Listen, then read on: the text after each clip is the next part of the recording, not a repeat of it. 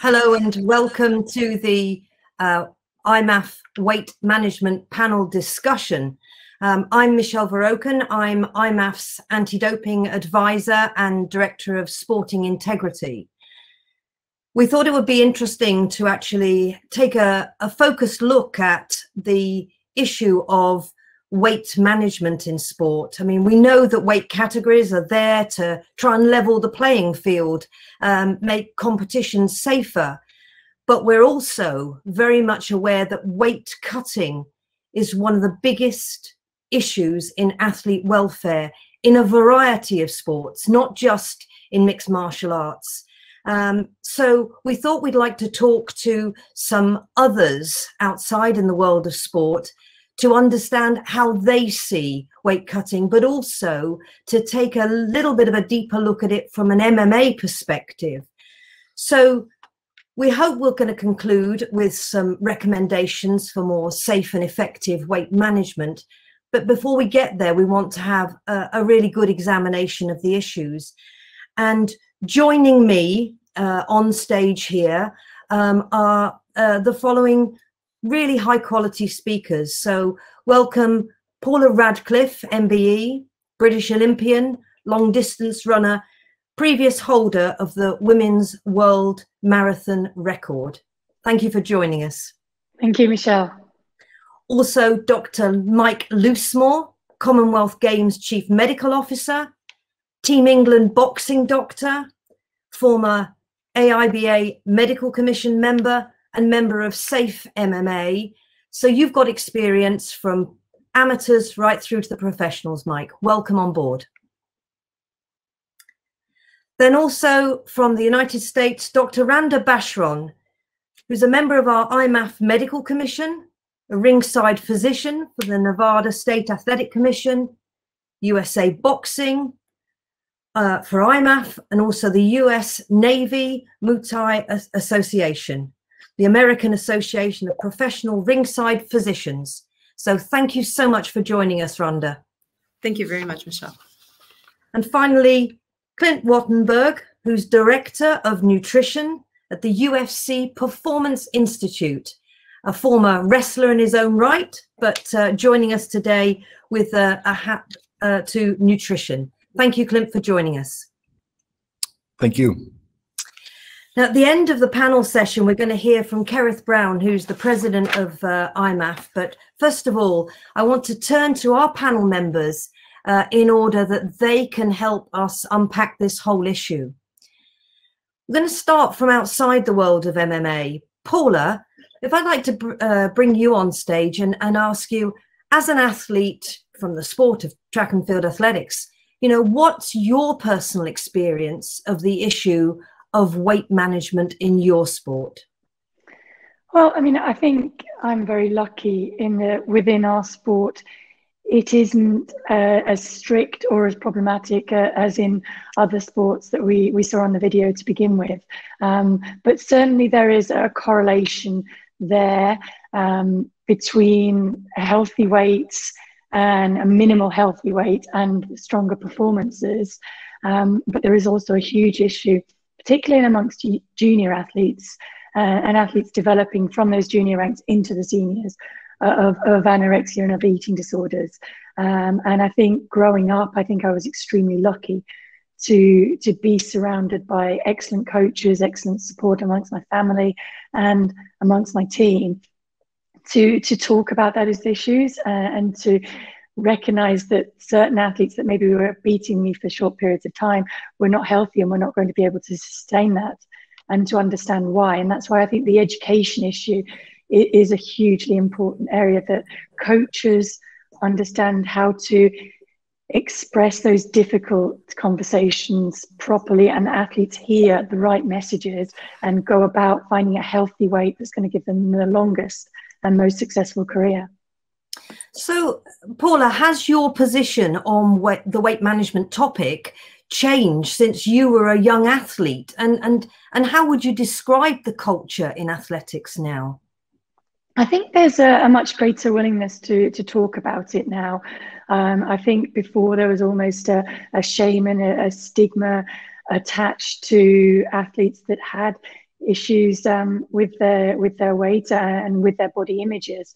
Um, and now there's a lot more help out there. I think there's a lot more help from physiologists and from nutritionists to really talk with athletes and to explain um, those myths that used to surround events like the marathon that the lighter you were, the faster you were, don't really exist so much anymore um, because there is now that greater understanding that actually if you don't have muscle mass you have nowhere to store the glycogen in and you won't perform as well. So it's about finding that healthy weight now and it's the education around that. But i do still think it's a minefield out there for, for coaches, particularly male coaches to female athletes, to be able to express properly um, and responsibly to those young athletes how to find a weight that helps them to perform well, but which is healthy and sustainable for them and that won't get them into the kind of red territory that we hear so much about. Okay, so if I ask you the blunt question, is it necessary to drop weight to be a winner? How would you respond? I would respond with it's necessary not to carry excess weight. Um, but I don't think it's always necessary to, to drop weight. For some athletes, it might be necessary to actually gain weight in order to perform better. I, I think what is necessary is to understand the individual athlete, their physiology, and at which weight they perform best. And that's something that my physiologist helped me with a lot over the years is working out what was my ideal body mass to perform well, to perform strongly, not to get injured and to stay healthy. So how might we persuade athletes and their support team, as you've referred to, that you can be a world beater at a healthy weight? What are your thoughts? Well, I, mean, I think if you look back over history, certainly within my sport, but probably within other sports as well, those that don't maintain a healthy weight don't have the longer career. So I think it is about that learning and the education and pointing to those success stories. And it, it's rare that an athlete with an eating disorder will have a long, sustained, successful career. Um, and I think making sure that young athletes understand that before the damage is done, that's the, the key area because too often, sadly, those athletes realize, but it's too late to regain the strength and their, their body had to begin with and of course it creates that culture of expectation now i wonder whether you've got any thoughts on what federations themselves should really be doing to address this because we've got the the athlete we've got the coach but is there something federations could be doing Absolutely. I mean, I think it comes down to the federations to educate and to protect the athletes and the coaches. And in sports where that weight cutting, that weight dropping is really prominent, there I think there need to be proper rules in place to make sure that the athletes and their health is protected. That is the most important thing. So, be it changing the way that weigh ins are to maybe make them, I don't know, a little bit more often, more regular, so that athletes aren't dangerously playing with their body to, to hit that weight to then gain it again before the actual fight or competition happens. So, have you seen things improve in in athletics? Um, yes, I've seen, uh, as I've said, a, a, better willingness to understand all of the issues that go around weight management, particularly for young female athletes, the influence on their menstrual cycles, on their fertility and, and later health. I think there's a lot more understanding around that. I think there's actually a lot more understanding on the wider nutritional field about the type of, of nutrition that you need to get into your body, a type of fuel that you need to get into your body to fuel performance in the best way, particularly in events like the marathon, where that needs to be very much understood. I mean, that's a fantastic message from from your perspective and, and understanding, obviously, with the longevity of your career um, how it's possible to to be able to do that. So um, I think it's important as a mother too, uh, and as a mother of a, of a teenage girl that their mm. their their welfare is looked after and is first and foremost because they don't get that opportunity again. So we have to look after them. No, I mean that that's an absolutely critical message that you've sent there. Um, I'm going to come back to you, Paula, but I'm going to move on um, to Dr. Mike Loosemore.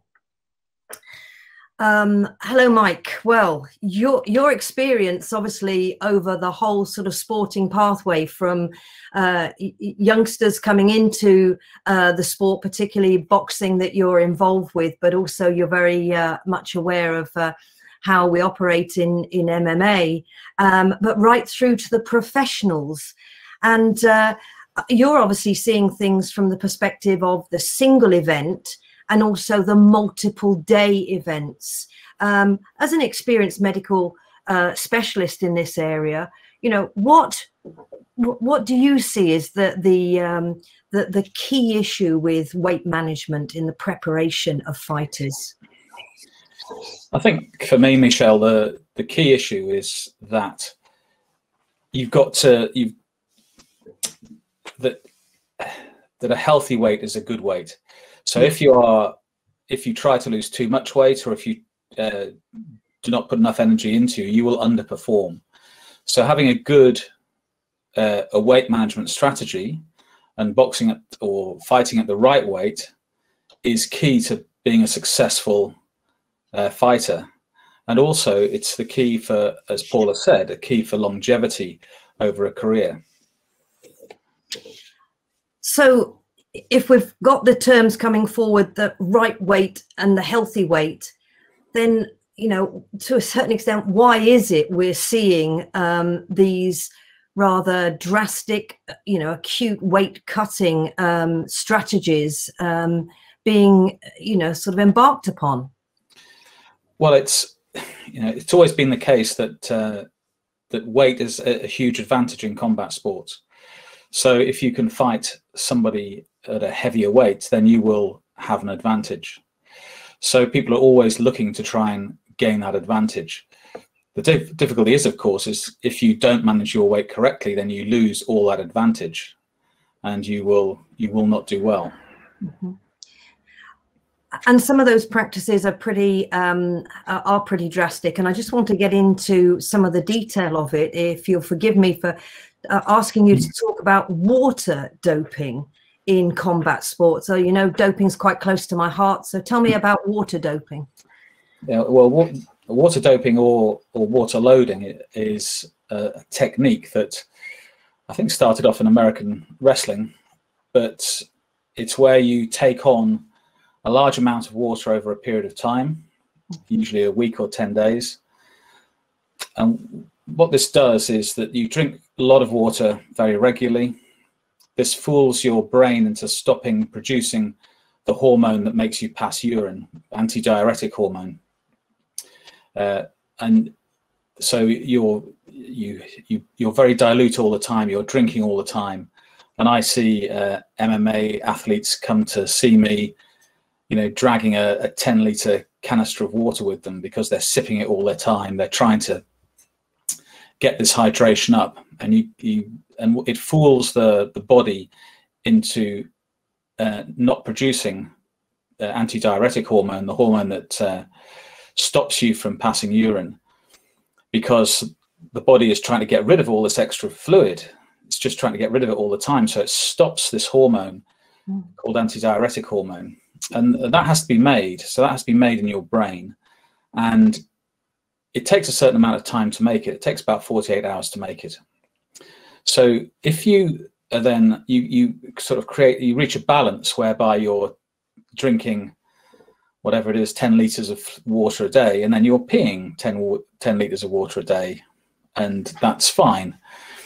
And then you, if you stop then drinking before you have to weigh in, then you continue to pee because it takes quite a long time for your body to start to remake the antidiuretic hormone, the hormone that stops you passing urine.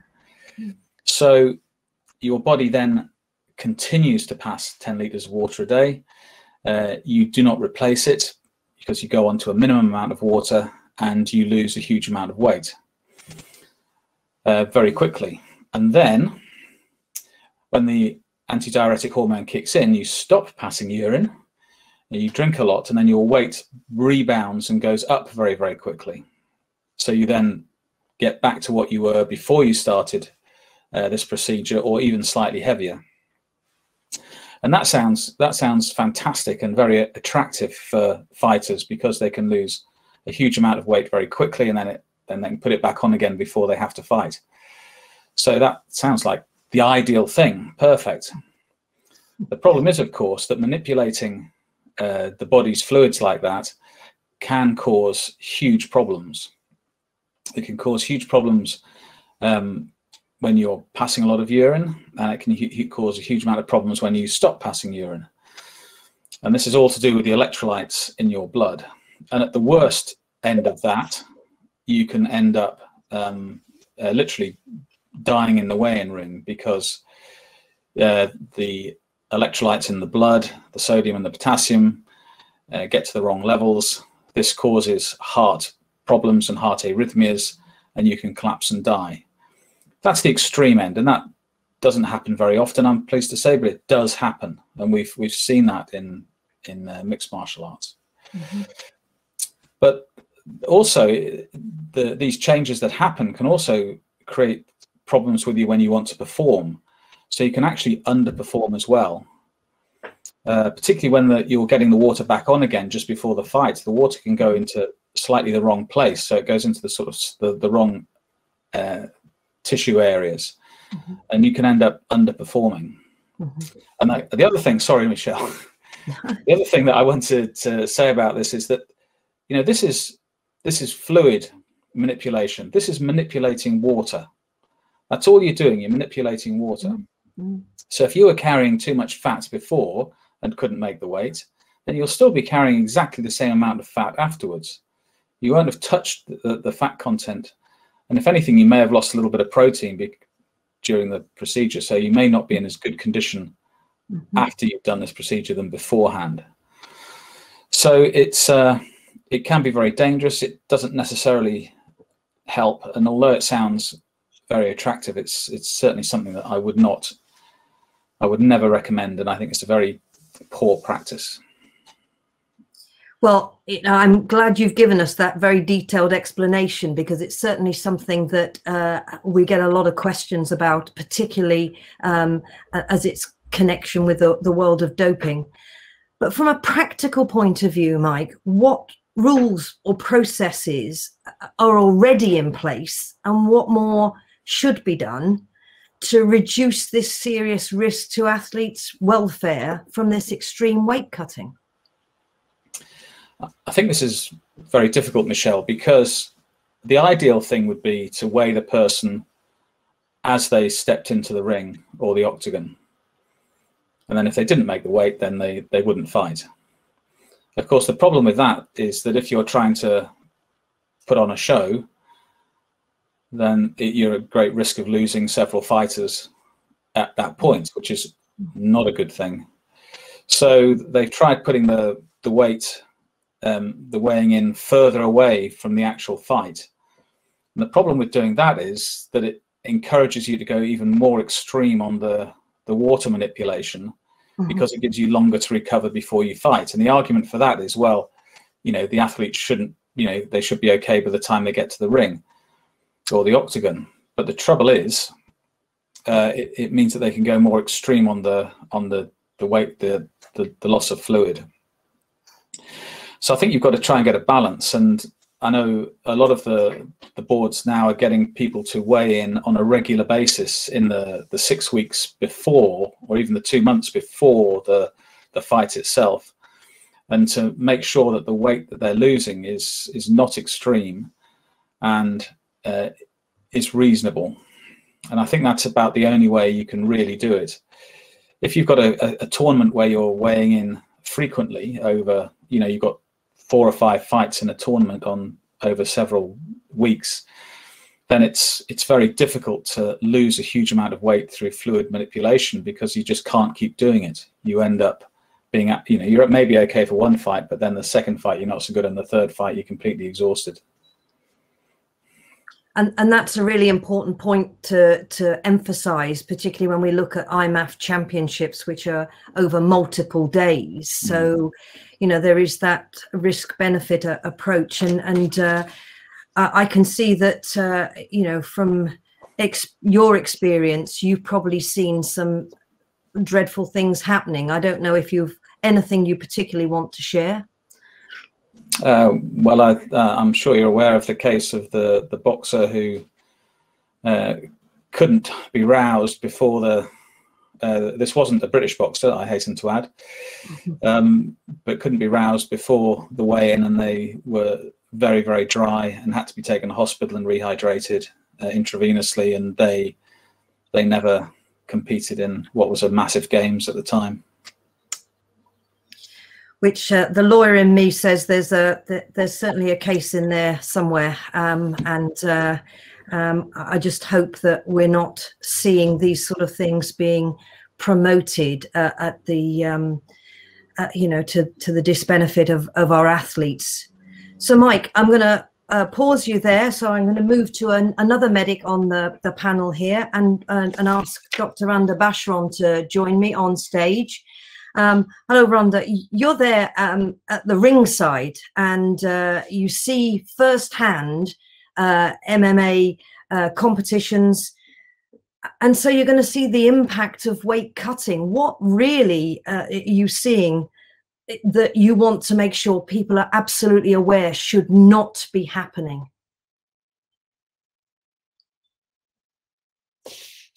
I think you're on mute.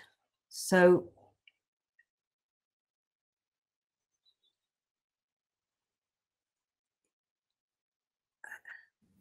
better. Okay, lovely. Thank you so much. I appreciate being on this panel. Sorry for that.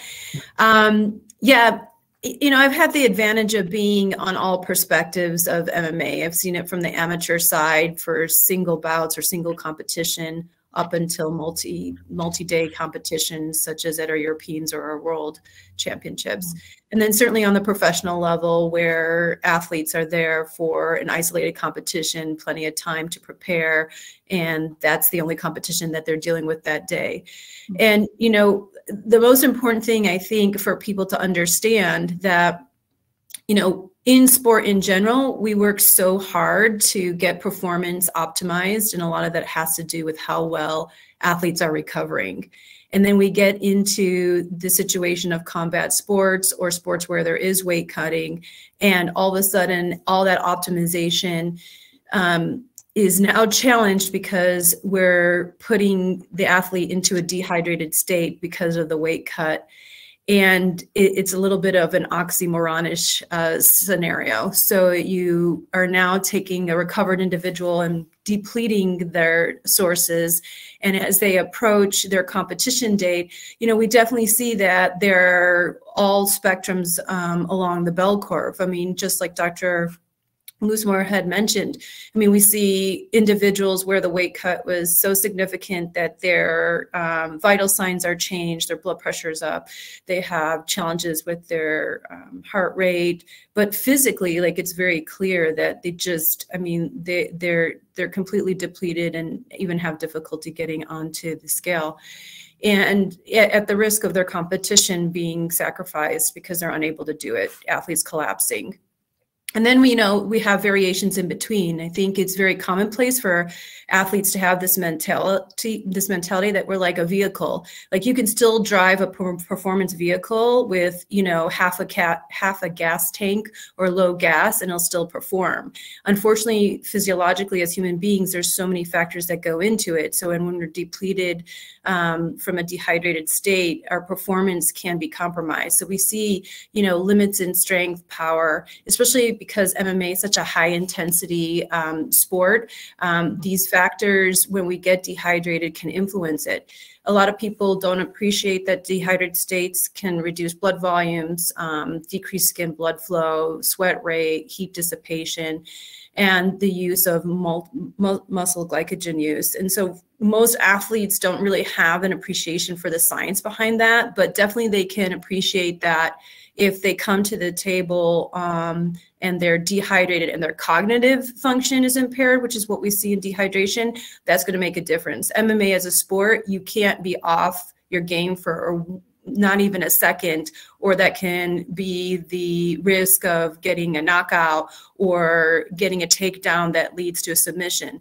So that cognitive deficit that happens in a dehydrated state um, and and just not knowing that you're fully on your game clearly hits home with a lot of athletes, especially also if they know that it can be taxing on their physical performance.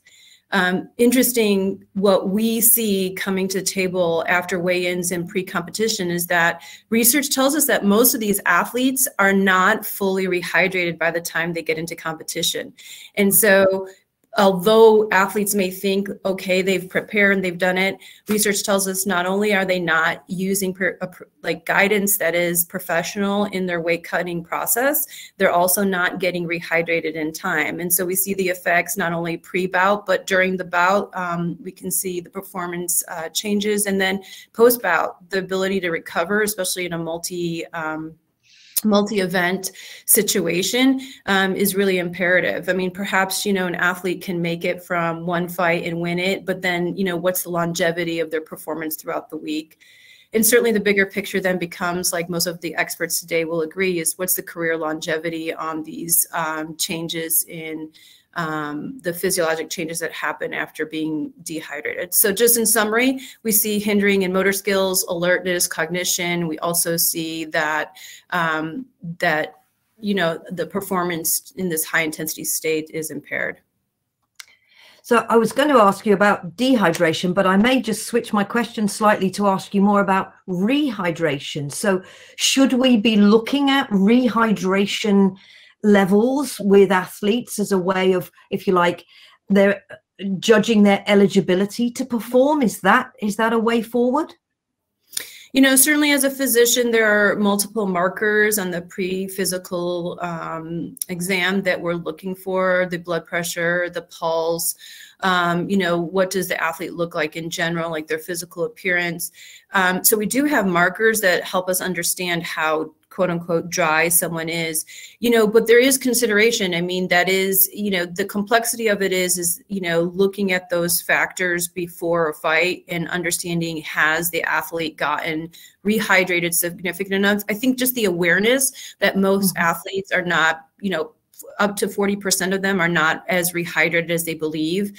And the the more significant the cut as well as the closer the cut or the shorter the duration of the cut between mm-hmm. competition, obviously the magnitude of the physiologic effects. So I think it's not only the awareness, but it's also professionally understanding how you're managing your weight cut, which I know um, Clint will be speaking, I, I, I, believe, addressing some questions on that, but appropriately how to rehydrate and then realizing just the awareness that maybe people aren't as, as hydrated as they believe. So it's just, you know, success is by design. You know, do we want to help uh, address this issue? It's about being prepared and having that preparation, just like every other aspect of the camp, happen earlier versus later so that there's more time for the body to recover, just like we focus on recovery is such a uh, important entity on performance overall in all sports.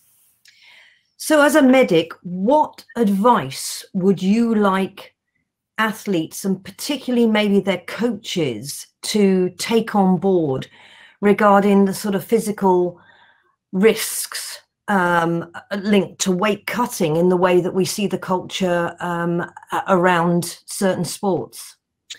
I think in all sports, there's been a very intense focus on the um, brain brain injury and just the consequences of brain trauma um, in any sport where there's high collision or contact, including MMA and boxing. So, you know, as we look at what happens in these dehydrated states, there is significant there's a, there's evidence that significant dehydration dehydration can change brain morphology. Um, so the brain is very much a fluid based uh, structure. And when you have this dehydrated state, you do deplete the, you know, the brain volume, if you will, and it increases the risk of brain injury arising from head trauma. And even if we look at the head trauma that results from just the, the, the, the combat and the competition, there doesn't really need to even be the knockout or a TKO. There's still trauma that's occurring at the micro level. And that's well established in the literature. And so, you know, understanding from a career longevity, like what are the effects on the brain? What are the long term effects on the body?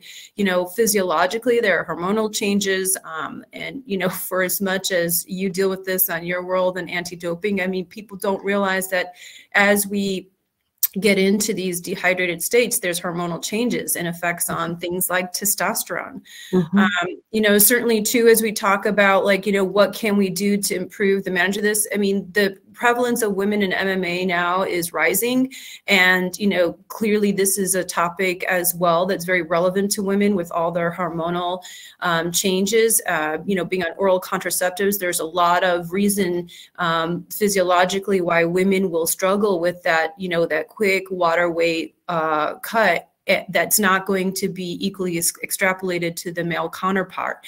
And mm -hmm. so, you know, women carry more fat because of our ability to bear children and our physiologic uh, ability to have uh, and bear children makes it a, a, challenge as women to do the weight cut. And there has to be even more strategy and more um, um, preparation um, as compared to the male counterpart. So, you know, these are all things to consider um, and not putting individuals at risk uh, when they're trying to succeed.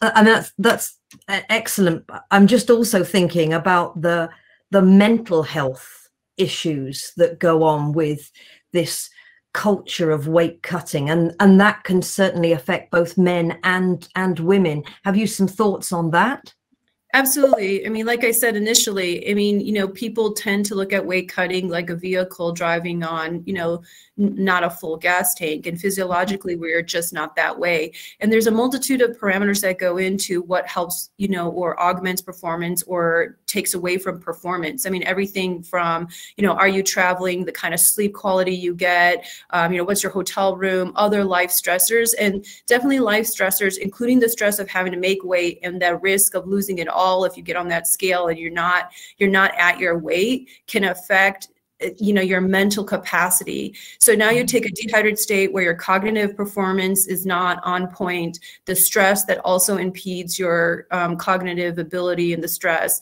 and all of those things are not a good formula for mm-hmm. succeeding. Do athletes push through? Yes athletes by default are very mentally tough but if you could eliminate these factors and reduce stress as you enter into competition and just like in the video it's all about feeling your strongest and feeling good good like why wouldn't you do that? So it's just you know i guess my take home message is this is not just about dehydration. This is about looking at the entire um, aspect of performance enhancement and how do we get that to be optimized and and reducing the amount of stress not not only mentally but physiologically on the body by being more prepared in that wake up process um, i think will help the athlete not only you know perform better but also have repetitive long-term success over and over again.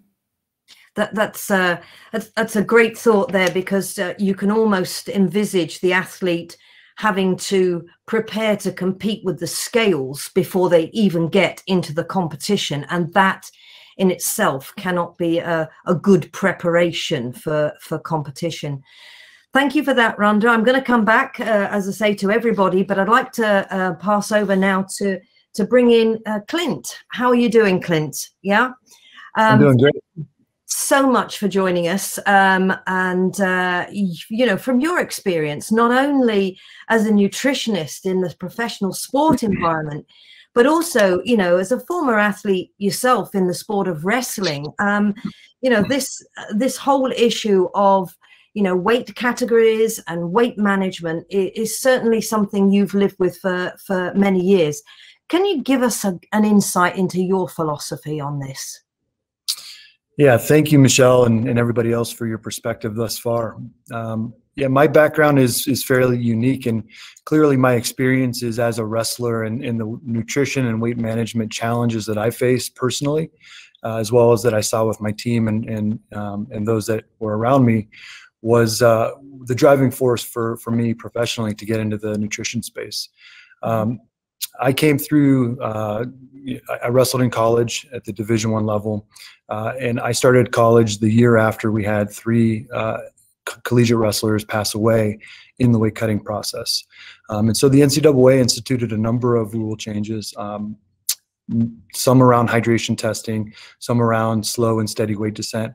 And the most impactful by far was moving the competition to within an hour to two hours of weigh ins. Um, mm-hmm. What that does is it limits your ability to you know deplete yourself and recover and to be able to perform. And at the end of the day it's all about what is your capacity for performance. So mm-hmm. that was something that i lived through. And personally i struggled with weight management through college. I um, i gained 50 pounds in college being the same height. And so i, I just really um, ended up going up two weight divisions and um, kind of had to learn how to change my mindset around that and um, took mm-hmm. that all the way through uh, some of the olympic um, level wrestling that I did as well. And interestingly, the uh, the uh, IOC UWW, um, the rate regulatory body for wrestling internationally, has also moved weigh-ins to two hours before competition um, as of the last Olympic cycle. Um, mm-hmm there's many many uh, similarities between wrestling and mixed martial arts in terms of weight cutting um, both acutely and longitudinally um, and one of the things that has stood out to me as a different uh, kind of a differentiator between wrestling and mixed martial arts is that for wrestling, um, height and reach is not such an advantage in wrestling as it is in, in uh, a striking combat sport.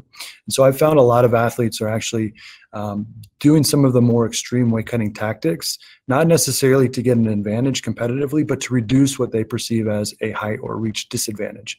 And so that, you know, it just adds another layer to the um, kind of never ending quest to get an advantage or reduce a disadvantage uh, that these athletes are, are going through. And clearly at this level, at the uh, UFC level, but really we see just as uh, uh aggressive weight cutting tactics, even at the amateur level, um, that people just really put their heart and soul and uh, into um, competitive success and they mm-hmm. perceive that this fight is going to be impacted positively if they cut more weight and are bigger in the octagon. And with all due respect to the commentary that was provided before, um, I think that in a, a one offset uh, situation, I think that being bigger in the octagon, even if an athlete undergoes more extreme depleting tactics, is going to provide that athlete an advantage in the octagon more times than not.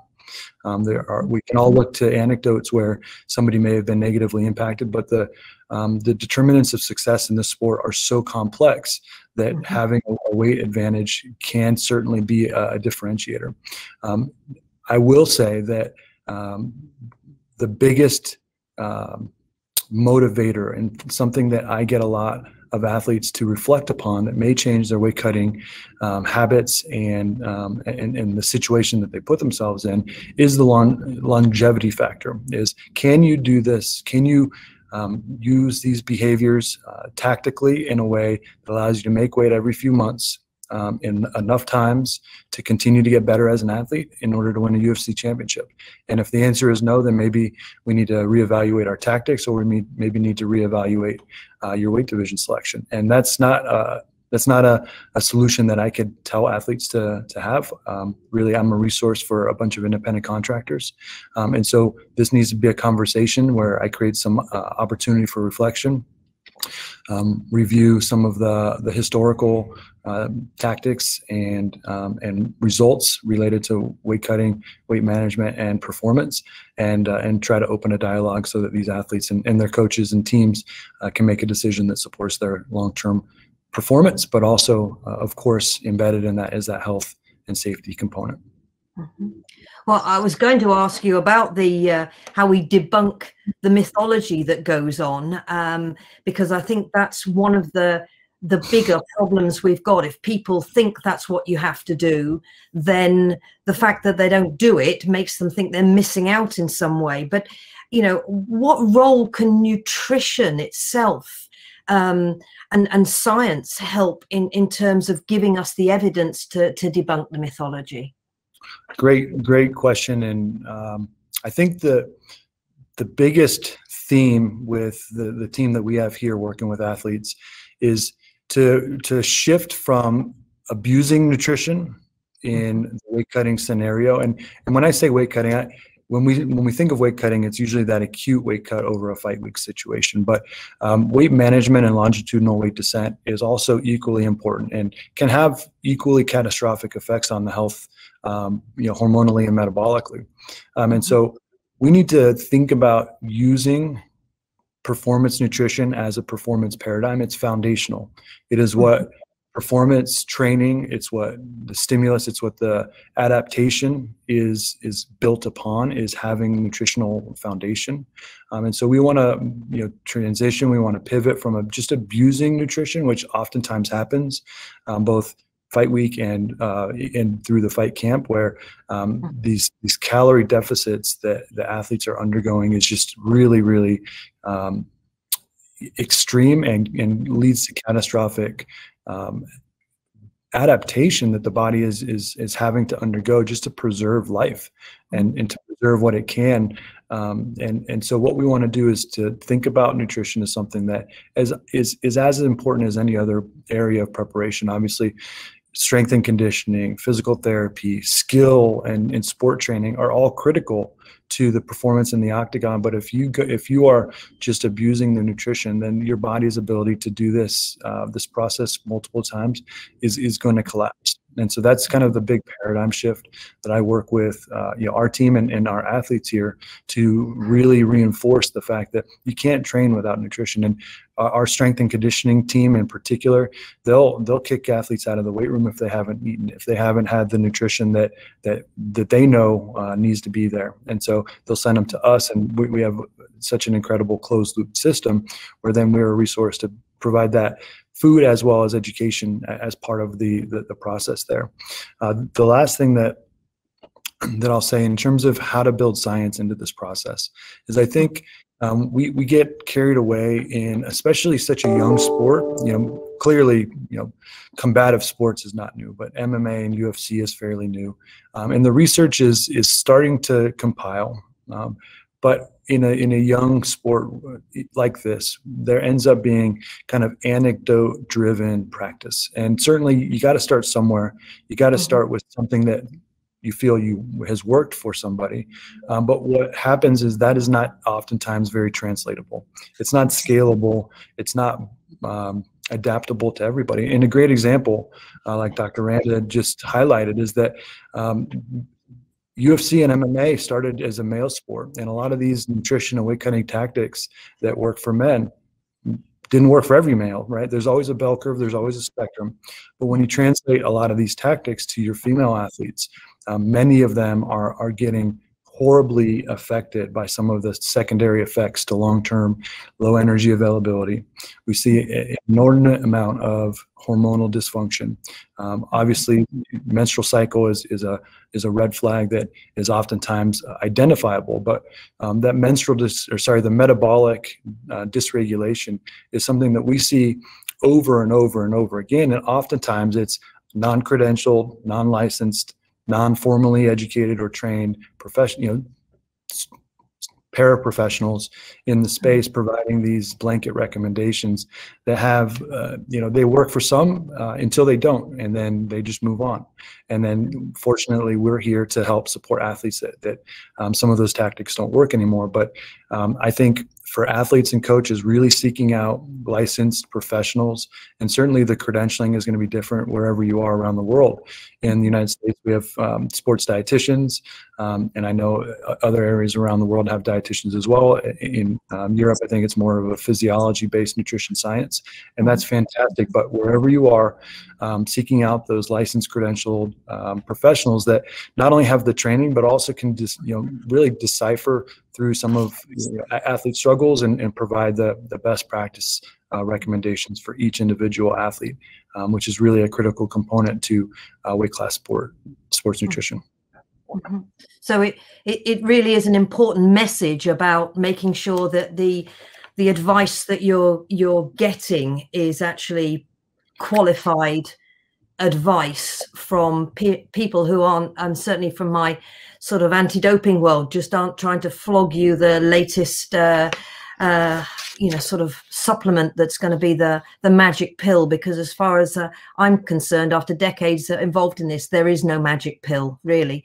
And and i don't know if finally you've just got um, uh, a kind of insight you can give us uh, from you know what you recommend uh, for, for UFC athletes um, that the amateur athletes can learn from now? Is there is there some standard of of best practice in weight management that that you could actually just give us some insight to?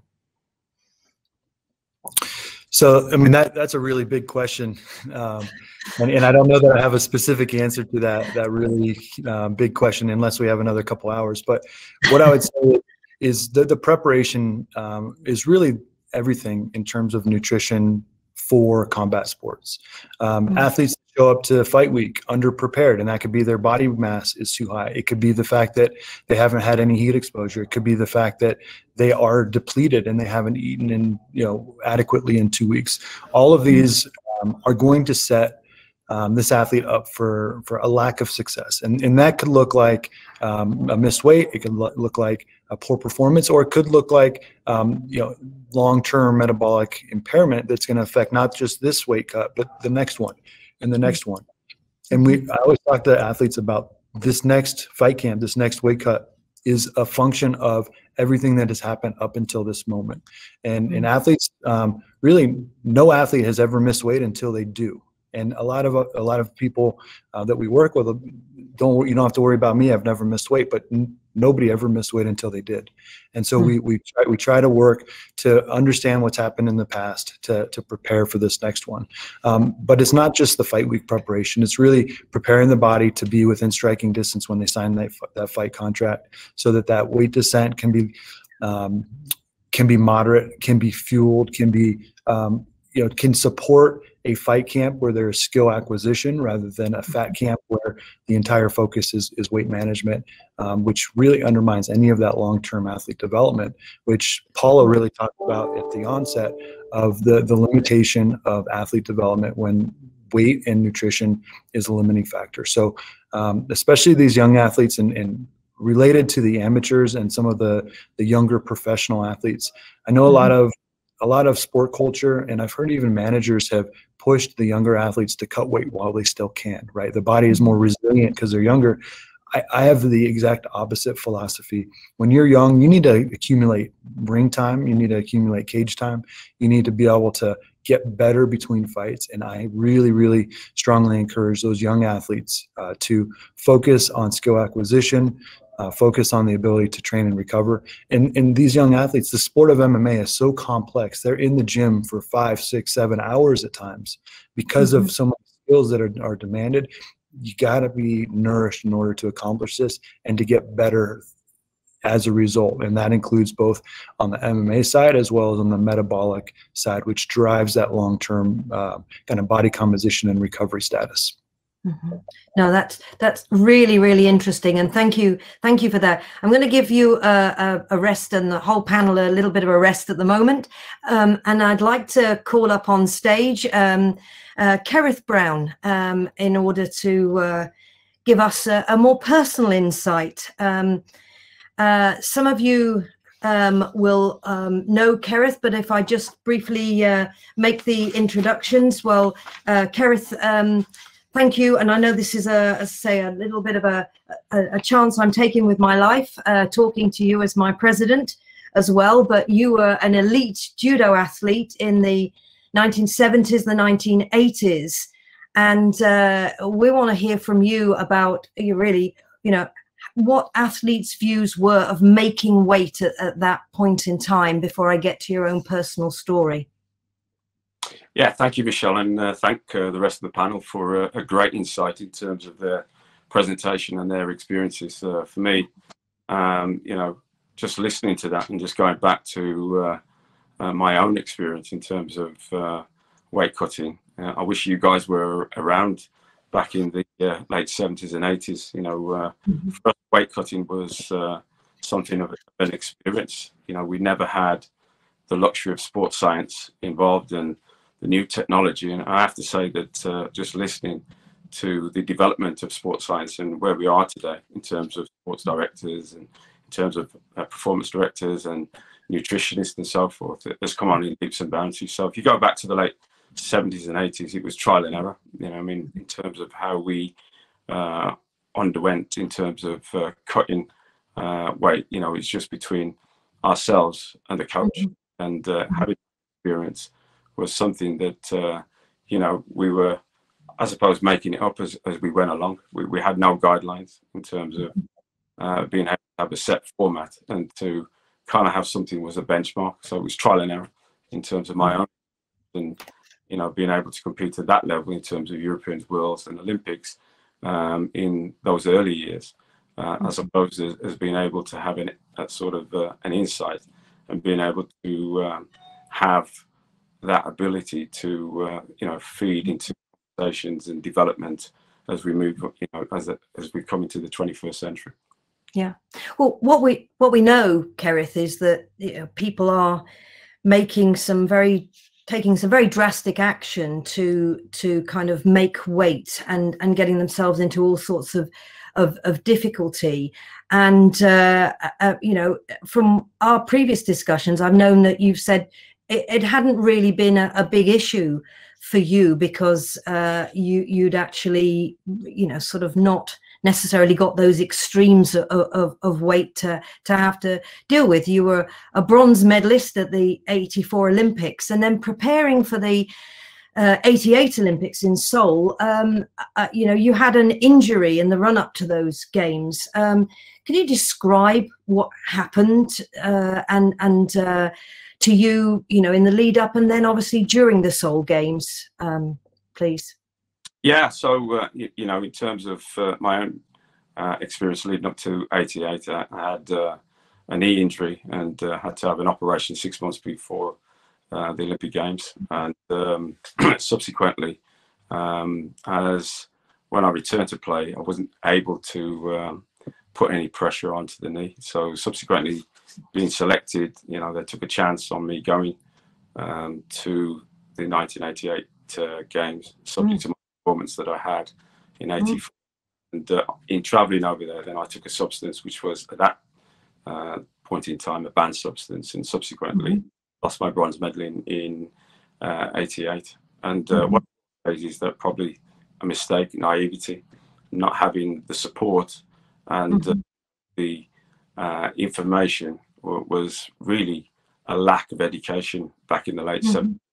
Mm-hmm. mm-hmm so i mean and, and that's a really unfortunate situation to to get in because obviously certainly a lot of the things that i see going on um, we, we've had them with uh, with our own testing program with immaf uh, where we can identify somebody who's who's clearly tried to cut weight by the use of substances but it is so easy to to um, fall foul of the anti-doping rules simply because you're trying to treat the swelling uh, associated with an injury. And, and uh, I think your experience really shows how important it is. So, what do you believe the key issues are now for athletes and for athlete support personnel in terms of managing their weight in MMA? I, I, think the most important factor, and I've listened to a lot of what the panel have said, and a lot of information coming in to the athlete in terms of where we are in a modern world. If you look at where we were in the late 70s and 80s, you know, it was totally different. You know, it was lack of education and lack of support, lack of funding, and you can mm-hmm. go.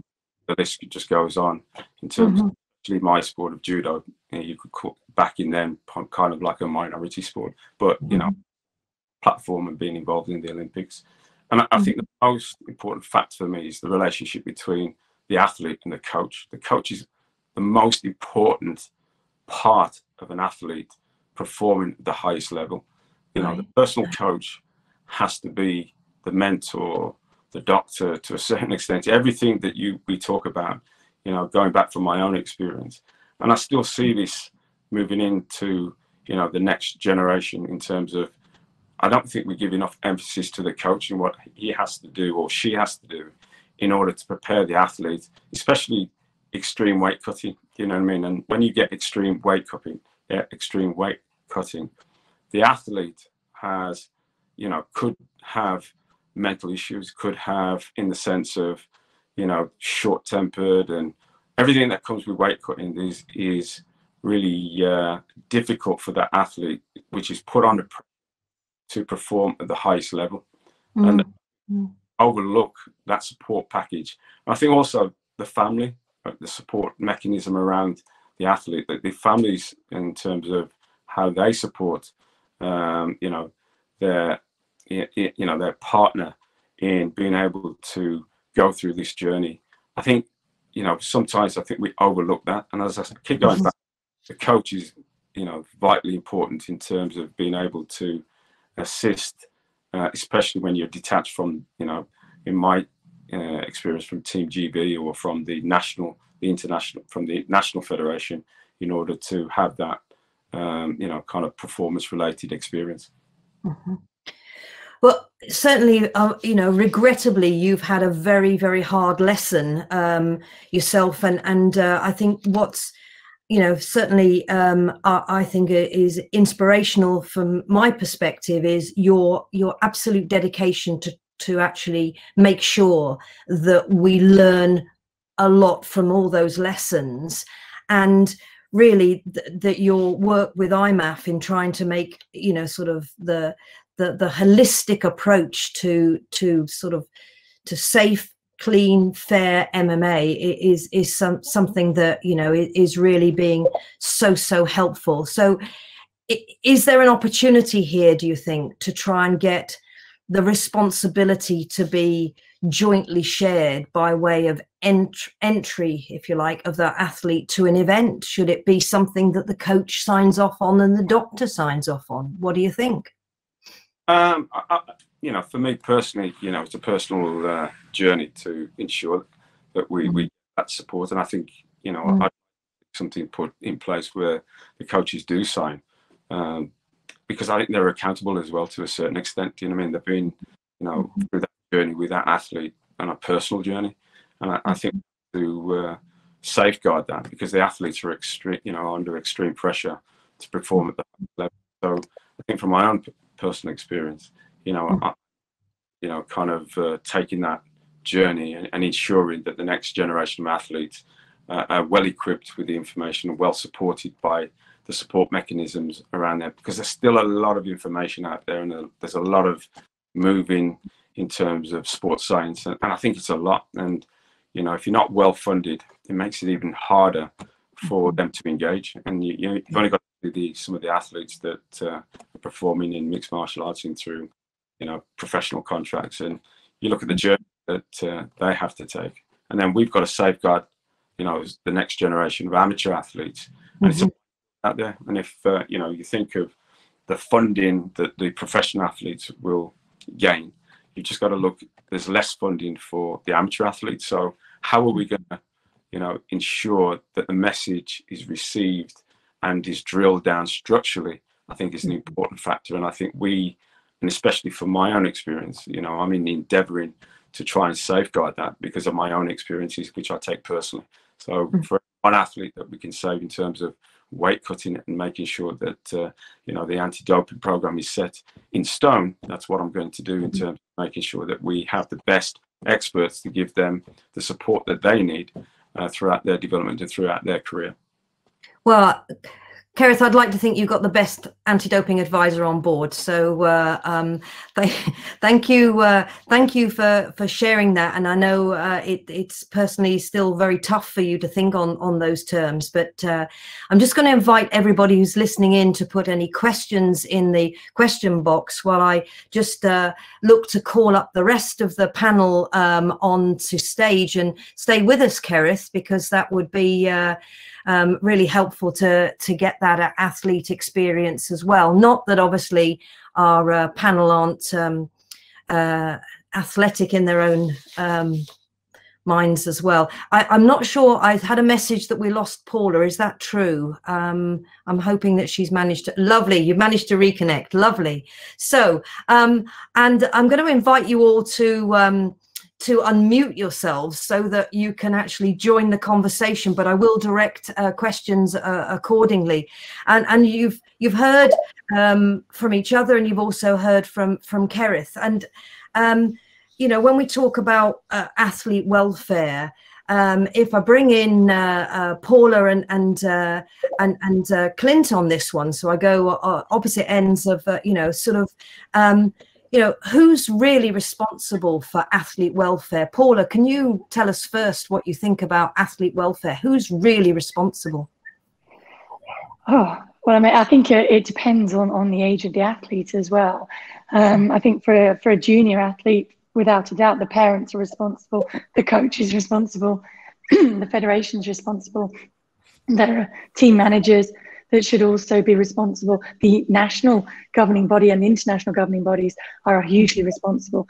Um, and then I think as the athlete gets older, some of that responsibility passes from the parents to themselves. Mm-hmm. It stays with the coach, it stays with the federation, stays with the governing bodies.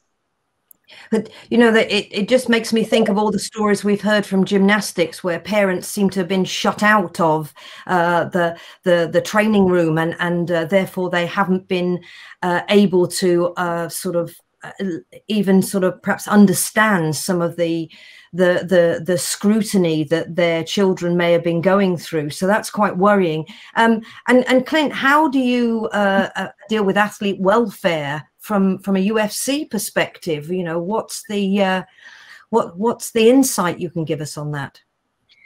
That's a really complicated scenario, actually, here mm. at UFC. Um, the UFC Performance Institute is part of the UFC uh, as a company, but we're a little bit um, kind of distinct in terms of us being athlete centered for care and performance development. Um, so there is a, a degree of, of um, confidentiality when athletes uh, connect with us that we certainly take on some burden of responsibility when we support these athletes. Um, in terms of as the sport in general uh, at the UFC level, it's it's a really um, diffuse uh, kind of management of athlete responsibility uh, in, in, health and wellness.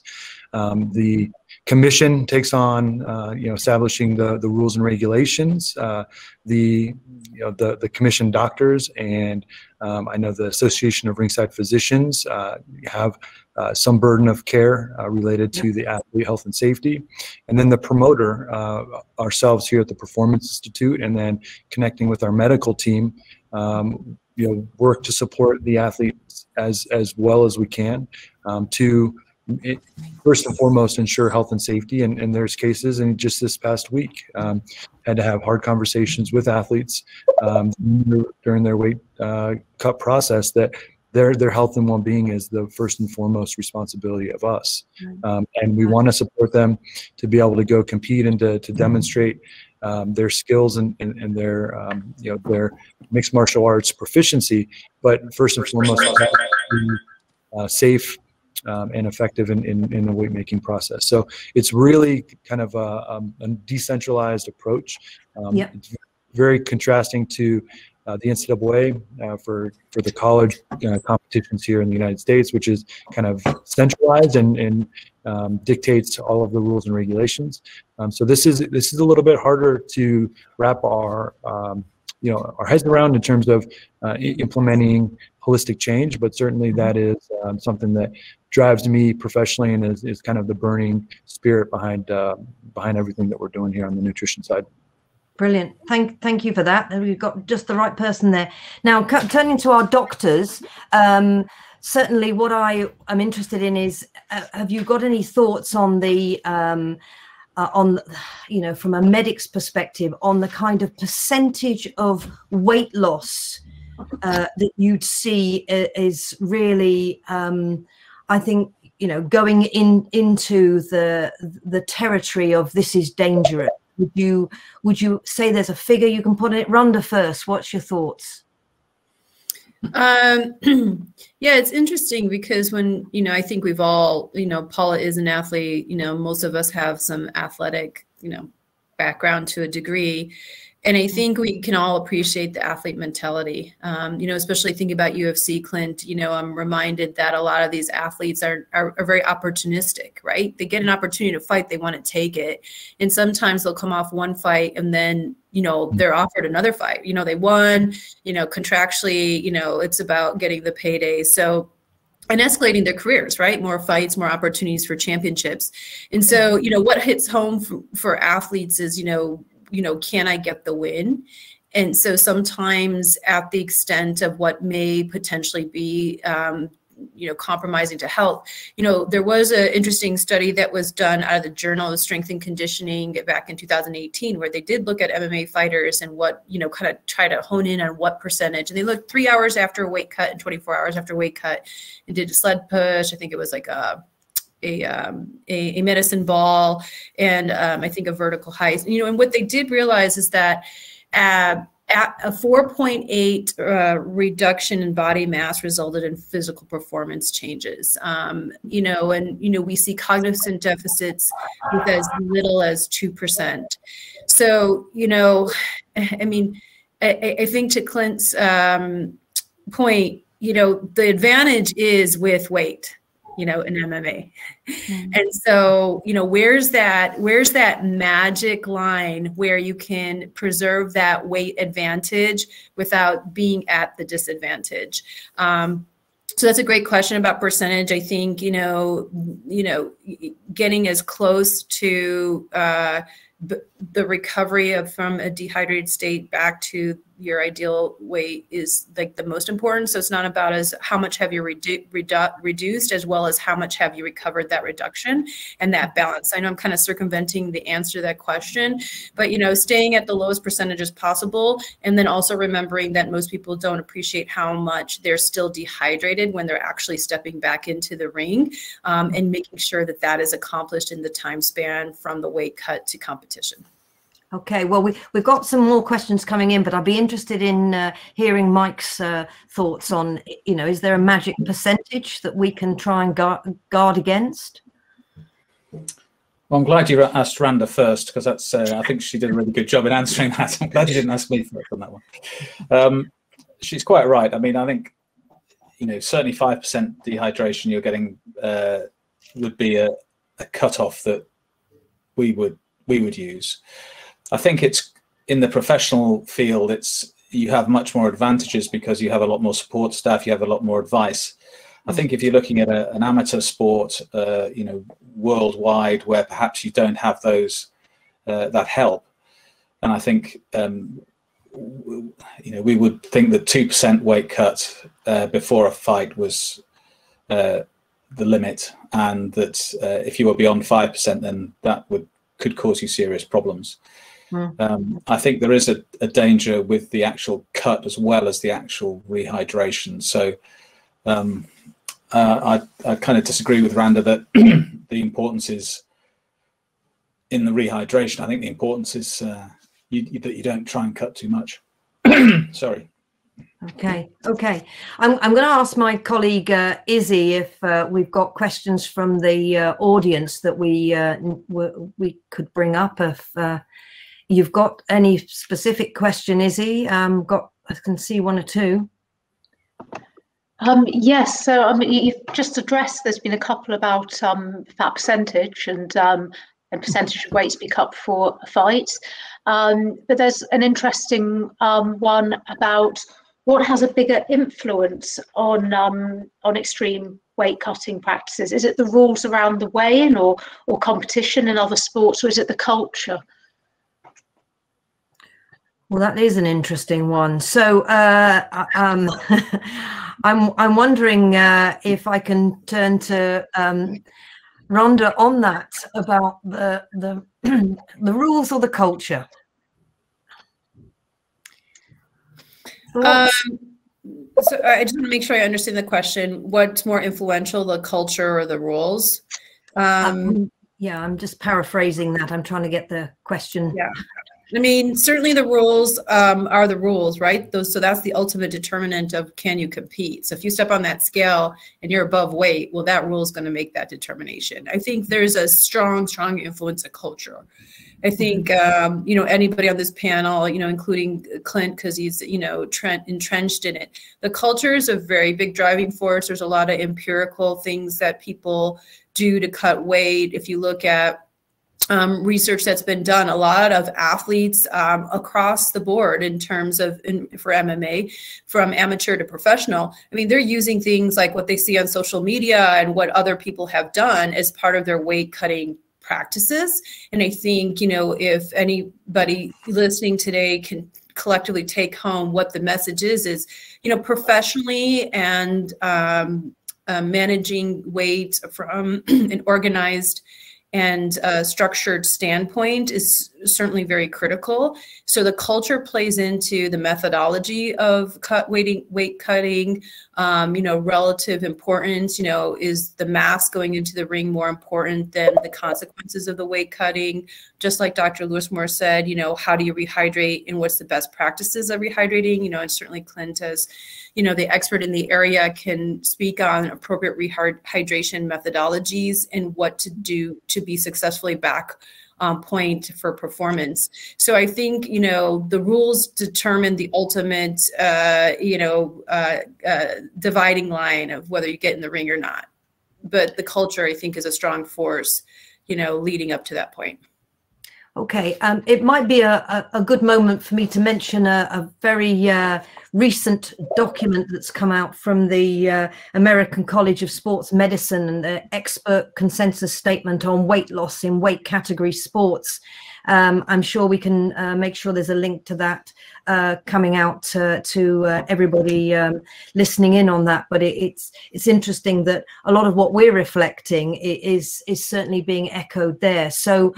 Mike, when you're looking at uh, rules, and, and I'm going to bring in Paula as, as well in a moment, but Mike first, um, in terms of you know the weigh-in rules, uh, the you know sort of do they do they dictate the culture, or do, is it the other way around? Do you think? I mean, I know the governing bodies put the rules on weigh-ins together. Yeah, I, I think the the rules around the weigh-in uh, become permissive. So, mm. if you have a weigh-in um, 36 hours before the, the fight, then that gives you a, a, a, greater time to rehydrate. Therefore, you can your weight cut can be fiercer. Um, so you uh, you know that does dictate when you have the weigh in really does dictate. Mm. And if you had, as I said before, if you had the weigh in just before you stepped into the ring or the octagon, then you would have to be on weight. You couldn't. Mm. Uh, the, the the the idea of dehydrating um, and then stepping into the ring would be would be madness because as Randa said, you know, two percent weight loss, you start getting cognitive uh, problems, and if you can't think when you're inside the ring, then you're in real trouble. So I think you have to have a, a compromise, and I think the best compromise is multiple weights throughout the build up to a to a fight. Well, you know, and that's why I wanted to just sort of compare with with Paula's experience in athletics. I mean, um, would would weigh-ins, if you like, um, trying to find a healthy body weight, help in athletics and and and help with that that sort of you know rapid weight loss for you know in terms of of trying to get to that magic sort of power weight ratio. Uh, have you any thoughts on that? Um, I don't really feel it would be too relevant um, within athletics. I think um, we have to do the training. You know, if I'm thinking even for the marathon, you need to get yourself at kind of race weight, if you like, and hold it for five or six weeks or so. Um, but you, you, you, wouldn't be able to change it in the week of the race. You need to be training at that consistently. So I think it, it's less of an issue there. And I think it's really more an athlete and a coach and the support system working together to find their the athlete's individual best um, body fat percentage with calipers and with testing um, mm-hmm. that correlates with the best performance, or you can do it simply, as I, I, guess I did growing up, just trial and error. At which weight do I produce my best performances? Just by weighing yourself at your weight and then working out how you you work around that. But it really is a, a lot of things coming together. It's not just weight it's your strength, it's your workouts uh, and what you're able to do there, and the volume of training that you've done. Whereas I think the, the issues we've been talking about, it makes sense to me to, to look at regular weigh-ins over a period so there isn't that one event that you're aiming for where you can then rehydrate again afterwards. Um, you want to be at a sensible, healthy level for a period of time coming into that so that you're fighting at the same healthy level yeah. that you've been at in training which would be the strategy that you'd adopt for for a marathon yeah yeah so. absolutely i mean you'd actually gain weight coming into a marathon because you want to be picking up and fueling up on, on glycogen so you mm-hmm. want to be carbo loading in that week mm-hmm. so you actually would be kind of what we call race weight a week mm-hmm. before um, mm. and then would be above that on the starting line, well above that, um, and then aim to not have lost too much by the finish. Okay. Lovely.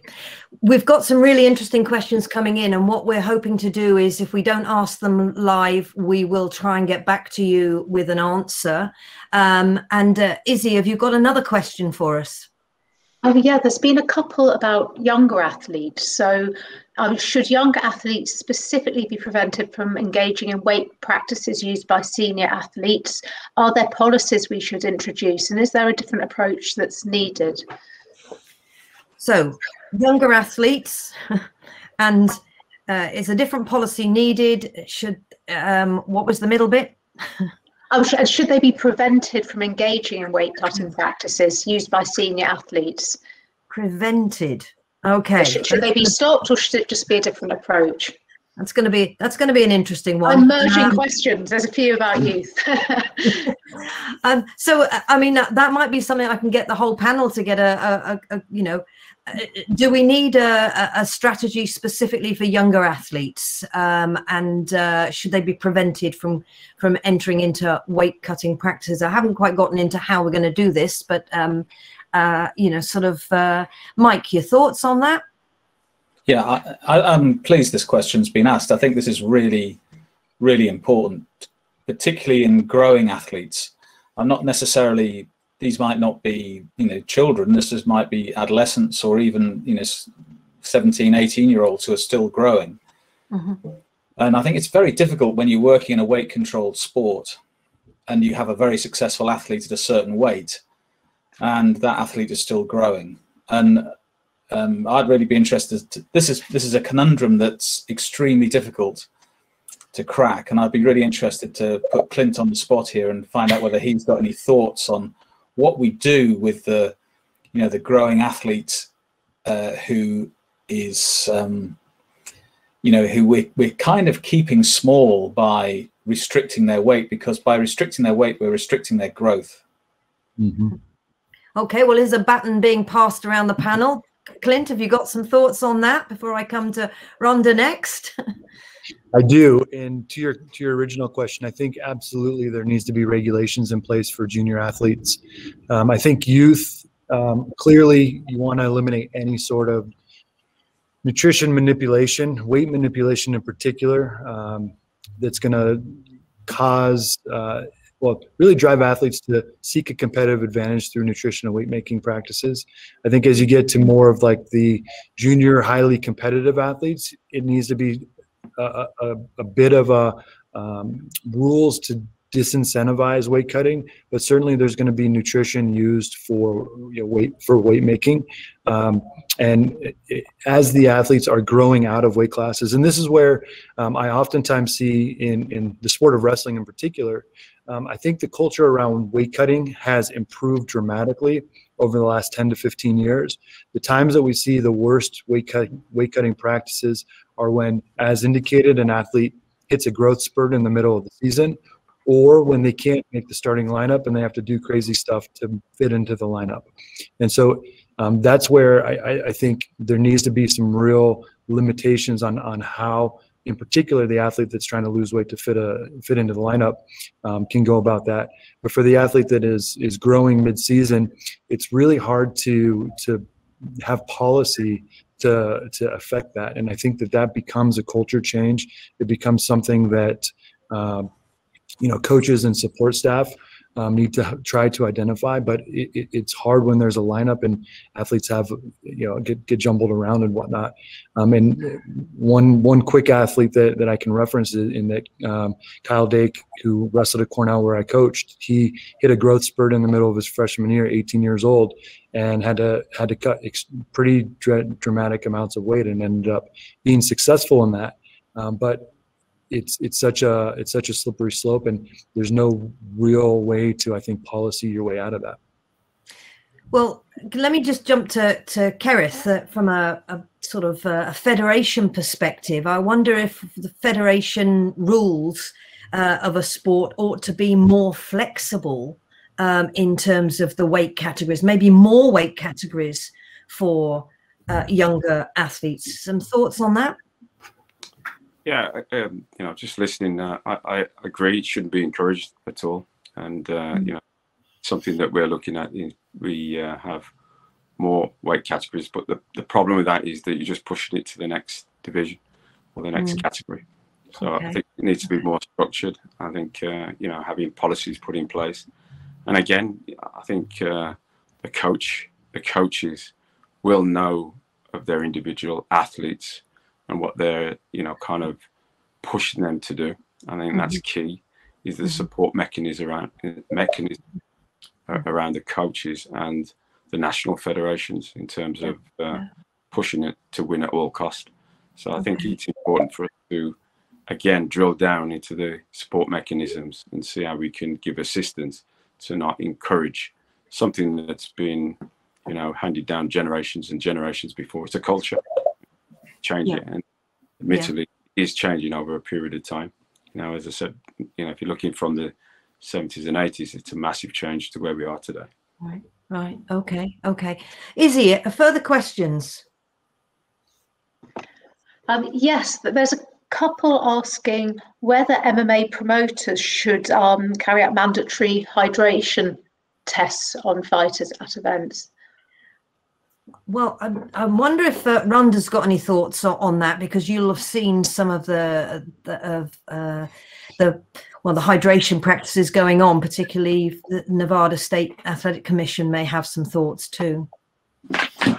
Um, you know, I think some of the things that have been set in place, um, you know, is number one, you know, having a regulatory body. I think there's, you know, certainly at, at, different points, if you look across the board in the sport, there's going to be conflict of interest between the promoter's agenda and and and having that regulation in place protects the athlete.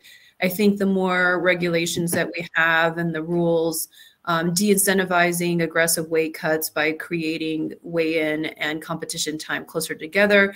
There's different strategies to help with that. I think yes, you know, definitely there are competitions that are very well resourced and then there's others that are not.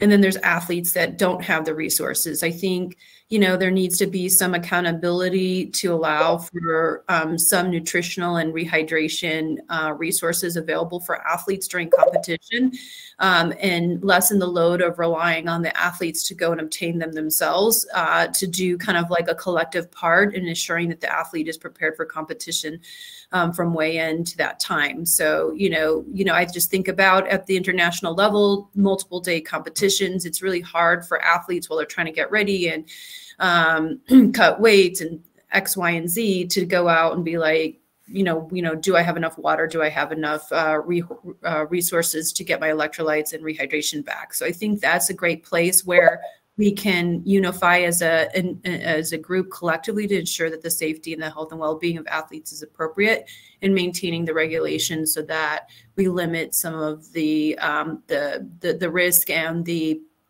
temptation to be aggressive about the weight cutting because people feel like they can get away with it.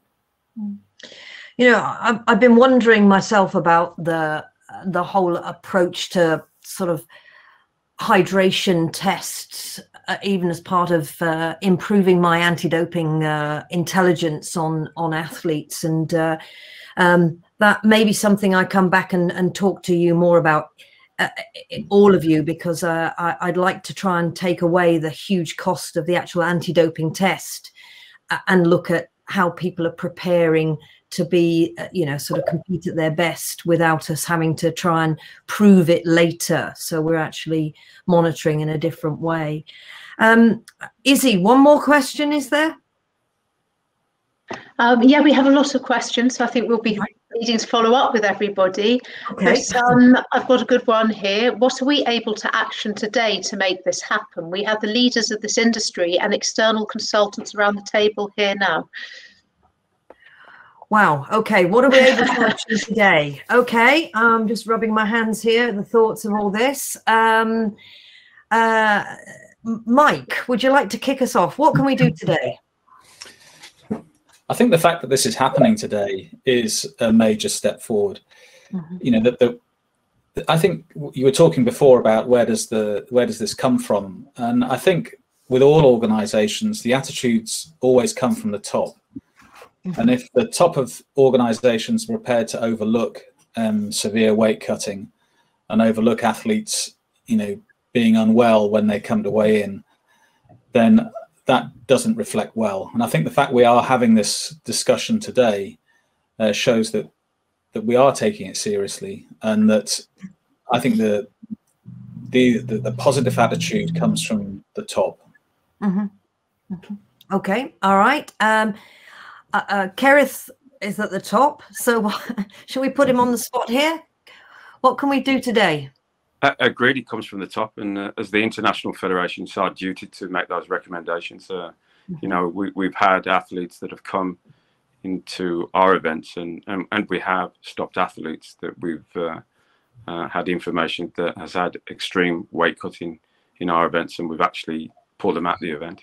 So it starts mm-hmm. at the top, and and you know we have to make those recommendations and make everybody accountable mm-hmm. uh, along that pathway. I think it's important, you know, especially with the sport of uh, mixed martial arts, and especially for amateur development, that we mm-hmm. send the right message and a positive message in terms mm-hmm. of um, you know the development of these athletes.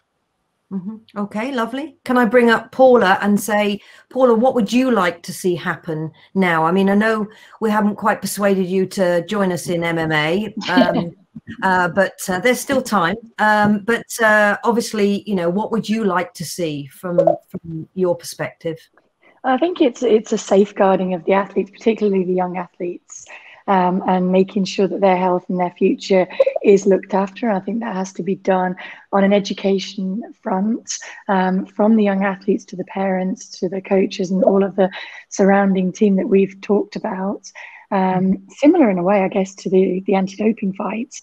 Um, we, we have to keep that perspective that it is just sport and that mm-hmm. there is a health and a life afterwards that needs to be safeguarded. Um, and I guess you have the other argument on the anti-doping point that it is cheating with this this isn't mm. cheating but it is still damaging your long-term health and i think it's getting that education point across to the athletes that there is a, a healthier way a smarter way that will safeguard their their life afterwards and their life after sport and still allow them to perform yeah and and it is that culture where you if you're pushing at the rules uh, how easy it is then to just fall over and and actually start to use a doping substance deliberately mm-hmm. for for that kind of weight management.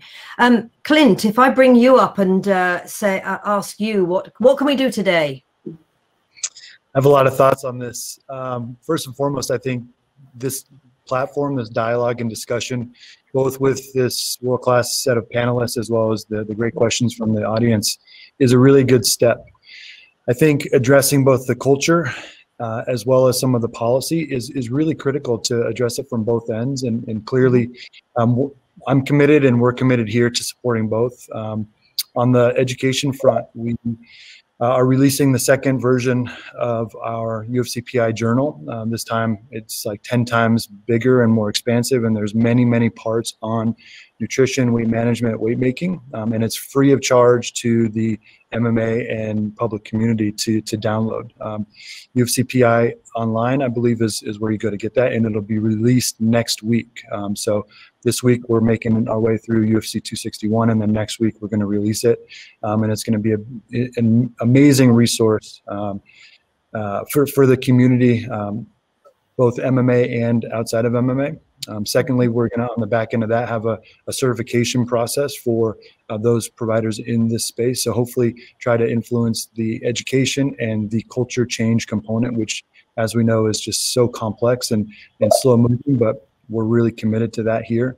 Um, and then the, the, the third thing is is really trying to continue this conversation. And something that I'm really committed to is to continuing to um, together a task force of sorts of, of those that um, stakeholders in this uh, in, in, this conversation. Um, that includes, of course, athletes and coaches, but also uh, medical providers, regulatory bodies, promoters, um, and, and, just to continue this process of, of um, working through what what is working, what isn't working, um, and and to, to try to find a way to support athletes health and longevity, as well as the performance and, and, and really the, the true essence of the sport. Because cage fighting is hard enough without having to go and uh, put yourself, uh, you know, on death's door, uh, which is what we see at times. And, and so we really want to make sure that the the essence of the sport um, and and the, the sportsmanship of it uh, comes through uh, without the um, you know the, the need to to put yourself in medical jeopardy. So. Um, I'm just really excited to be part of this panel. Appreciate you guys for hosting it and look forward to continuing the conversation. Thank you, thank you for that, Clint. Now, Randa, last word to you. What's the what's the what's our big takeaway from this in terms of what we're going to get on and do?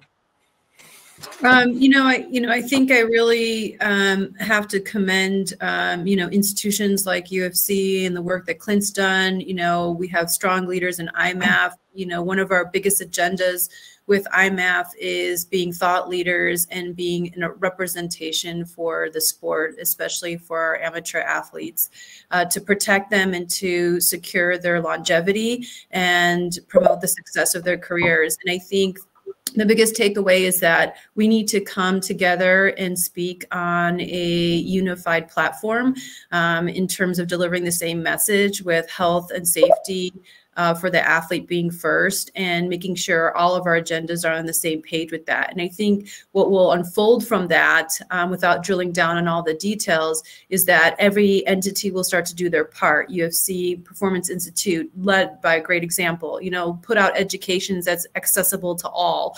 Um, IMMAF by making sure that athletes are stepping up to competition and before the competition starts, that their weight is on point and already at an ideal position so that they're not having to deal with day-to-day weight cuts that are too extreme.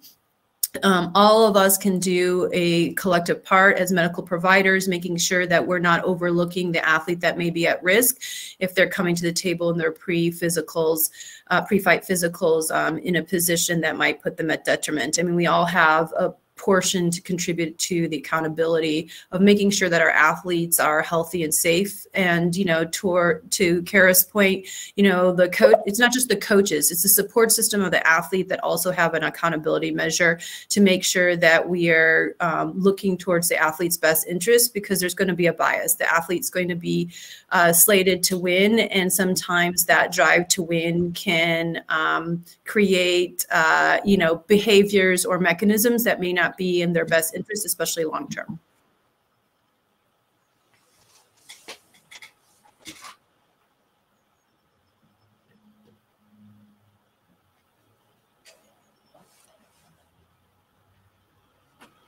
Michele, I think you're muted. Sorry, I got the the note to unmute my microphone and I couldn't actually uh, click on it. I was afraid I was going to cut you all off.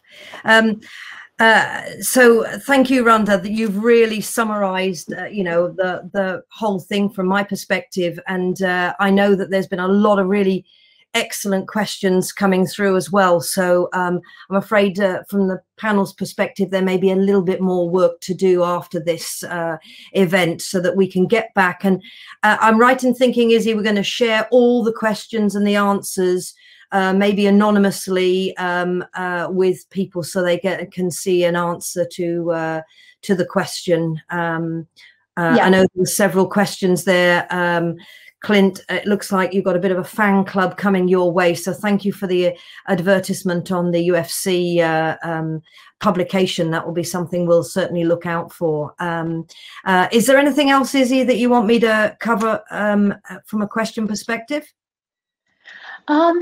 We've got so many questions. So I think um, there are a couple. Actually, if we could get one for um, athletics. Um, we have. I specialise in the high jump discipline, relating directly to my event or athletics as a whole. What is the most significant tip or process to follow when cutting weight for competition in the springtime leading into the summer season? Okay, um, Paula, it's from athletics, it's high jump. I wonder if you'd like to share a thought about because that's obviously got a more seasonal approach to it than uh, than we see in MMA for competitions or for uh, specific date uh, events. What do you think? Well, I mean, I have to say from the beginning, I don't have any knowledge in that area at all. It wasn't a discipline that I was in any way good at. Um, but what I guess I would suggest is finding a healthy weight um, and holding it for as minimum a time as possible and then making sure that you give your body time to recover afterwards in terms of, of regaining a healthy weight regaining menstrual cycle if that's stopped in that build up because i think that's important mm. um, so it's really again working with the medical side working with the physiologists and just making sure that you're looking after the athlete's long-term health and strength mm-hmm. and yes there might be short periods but i wouldn't try and hold those for too long and certainly not with developing athletes going through puberty still. No, that's excellent. And, I, and I, do, I, do, have a comment there in terms of yeah. Um, high jump is different than weight class sport athletes because they have to compete at their weight, so to speak. There's no weigh in process. Um, so there's no ability to rehydrate or glycogen reload like we would see in MMA. That said, mm-hmm. eliminating fiber, which is heavy in the gut content, um, can be a source of, of body mass that is non-functional. So you want to make sure that you have glycogen stores. You want to make sure hydration is is peaked up. You know, potentially um, ensure your your creatine reserves are, are high for that alactic type activity. Um, but fiber manipulation that we see in MMA could have an application to the sport of high jump or really any of your jumping sports.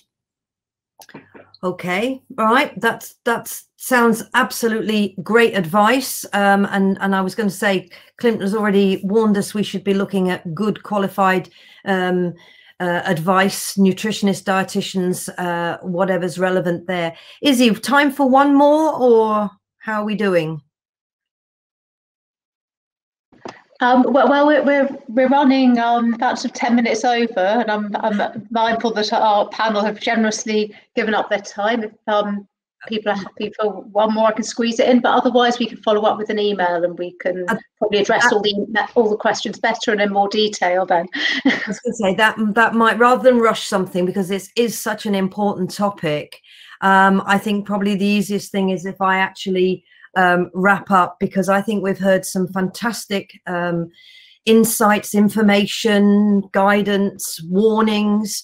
Um, certainly, uh, it is quite mind blowing the the to see some of the uh, drastic actions that that are taken, and uh, I'm so glad that we've had this expert panel. And I think, you know, from what we've we've heard, we really should be repeating this um, on a regular basis to bring uh, these people together you know. So i really want to thank every each and every one of you. It's been an absolutely fantastic insight.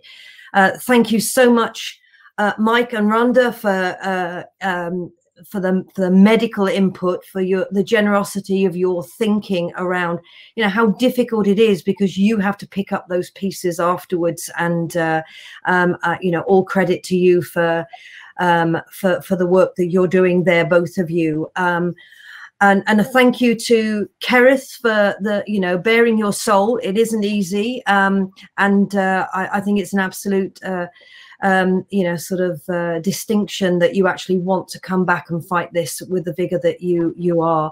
And thank you, Clint, uh, you know, I just want to get there to that UFC Performance Institute, and uh, um, I hope that I can. And uh, I, am certainly thinking of all sorts of things anti-doping that I can actually use from everything that you've all been saying. But a really big thank you to you, Paula. Uh, it's been such a long time since we've seen each other, and uh, I'm so glad that uh, you've actually got that perspective and and that that mum perspective as well. because at the end of the day, you know, this is sport and there is life and that is so so mm. important. Thank you to our audience for staying with us. Um, i think we haven't lost too many and many people are going to see this on catch up. And we do have a little bit of work to do behind the scenes to be able to provide um, some uh, information to you um, to give you the links and uh, the answers to your questions. So, thank you to IMMAF for um, uh, hosting this, and uh, we really do hope you all stay safe. And uh, that we'll see you at another IMMAF event uh, through the week. if not, we'll see you next time on IMMAF Thought Leadership. Thank you, everybody. Thank you, Michele. Thanks, Thank you. Michele.